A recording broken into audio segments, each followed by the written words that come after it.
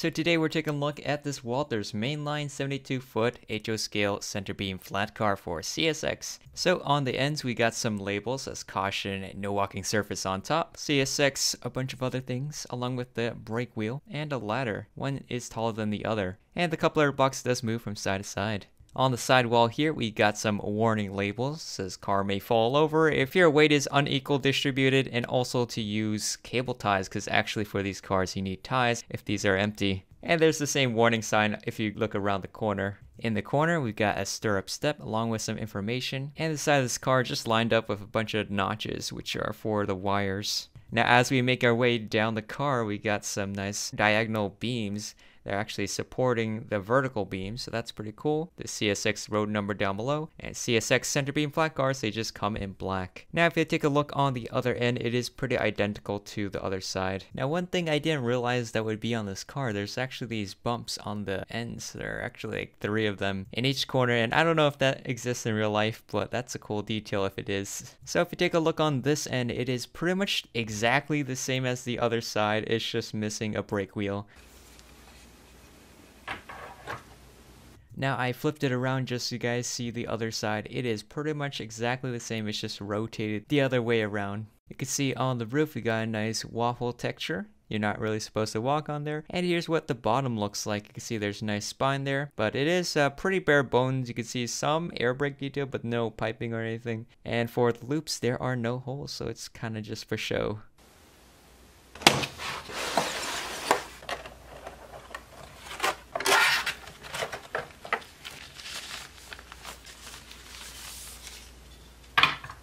Now here is the Union Pacific Opera Window center beam flat car, so this is the same length, it's a different design though, and it does say cushion load. Anyways, here on the side we got this ladder here, and just one long, one short, along with the Union Pacific road number right there.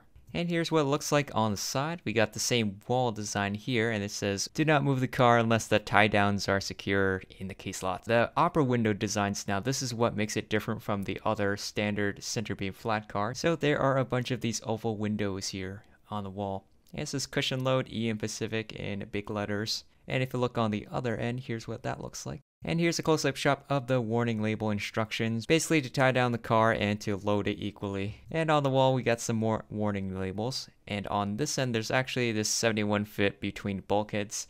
If you look on the other end, that's actually missing from the top. Now on the other end, it's pretty much identical to the other side, just does not have a brake wheel. Here's what the other side looks like. Again, this is also identical to the other end, it's just rotated the other way around. Now here's what it looks like on top, pretty much the same as the CSX, and the bottom is just uh, painted yellow. Now here is the CSX car with the Union Pacific center beam flat car and you can see the way they write the lettering is actually different. They have a different style, which actually surprised me because I thought they would just be the same as just a reskin model, but I guess there is a difference between them besides the opera windows and the standard.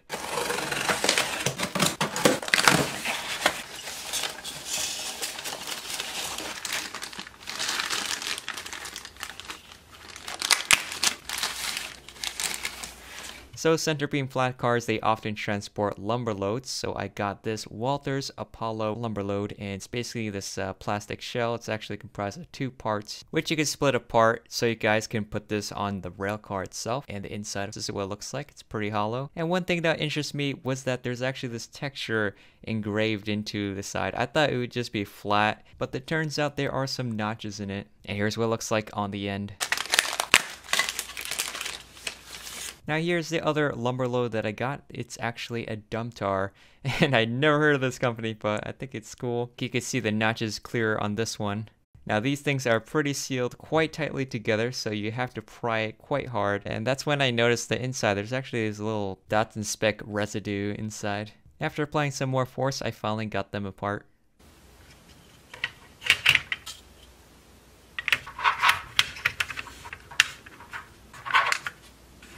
And here's what the Apollo lumber load looks like inside the Opera car. So it is pretty tight in there. It's not really going anywhere. It's just going up and down. It's not going to really fall out or anything.